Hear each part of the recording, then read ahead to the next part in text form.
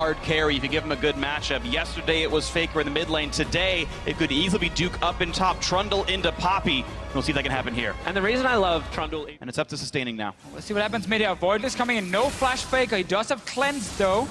But there's the root, there's the damage. Oh, going to be an oh, no, early is that good? cleanse, and that means Avoidless chains him down. One more hit will do it. First blood for the I May jungler. Blank not going to get enough done. A little bit of damage chasing in. He's got to be careful though, and he's actually going to get it, but it trades back. A great overload bounce from Baimei off the minions to get it back. Two to one I May. Fantastic gank.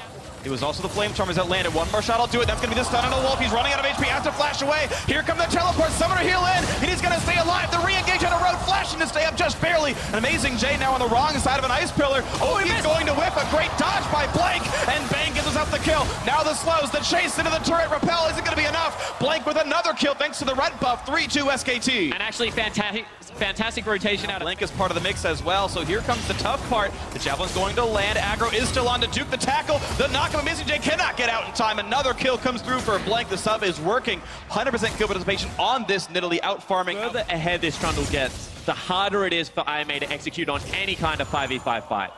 Ooh, the stun's gonna land though. The Rune Prison will be in range. Blank can't go away for quite a while, but here comes the pillar. Here comes Duke, and not enough damage yet. Yeah, the skill shot's going to land. And crucially, Avoidless also was able to jump out. A nice escape as well, Baimei. Getting him with the ulti. Out they go. The so, and this is now the culmination of that effort. They've got complete darkness here on this side of the map, taking down Baron pretty rapidly, and I may have to face check through several layers of wards, and there's not even a chance. Baron already picked up here by SKT, and maybe they find a bit of an engagement. Amazing Flash again getting caught out by Faker, though. Puts him not quite under the wall, nothing really being gained. AmazingJ about to lose his life, and does so. Sends members of SKT back, but no one else from IMA was ready to follow in off AmazingJ's Flash, just went in to die by himself. Road, gonna lose the one it against him. Jin Tower up to have thanks to a crit from Bang, and here comes the Glacial Fissure. Put damage on a Blank, can't quite kill him. The Rocket, not doing enough. Blank lives by the skin of his teeth, and now it's Baby dropped out Faker with the Petrifying Gaze. The second kill comes in thanks to Bang. Avoidless running out of HP. Down to the bottom of your screen. One more shot. The crit's gonna do it. Bang gets another. Another AmazingJ's gonna drop two and two right here. It's only Road left alive, and he's gonna be lonely as it's him walking back to his home camp. Because guess what? SKT with the inhibitors all down now, looking for the game-winning push onto the Nexus turret. Then it was controlled